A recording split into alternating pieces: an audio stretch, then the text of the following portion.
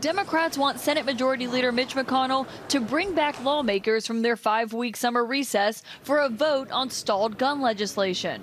Mitch McConnell needs to get off his ass and do something. There was a turtle by the name of Mitch, and the NRA kept him very rich. When gun control legislation was pitched, he knew just what to do. He ducked and covered, ducked and. Ah!